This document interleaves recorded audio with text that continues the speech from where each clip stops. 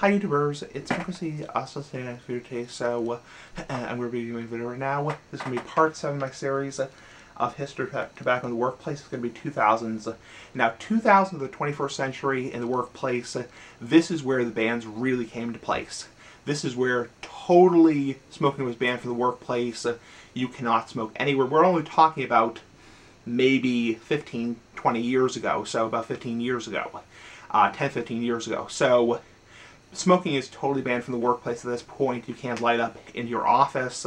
You can't light up that kind of stuff. So uh, this is where people really understood, you know, gee, secondhand smoke is really bad for you, even though the big ass cigars are good. So uh, yeah, people realize, gee, secondhand smoke is really deadly to your health. So, uh, and it doesn't just make your clothes smell bad or make you cough or make your eyes water, it can cause cancer, so, and heart disease.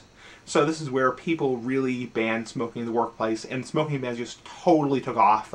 Even outdoor smoking bans came into effect. Anyway, bye.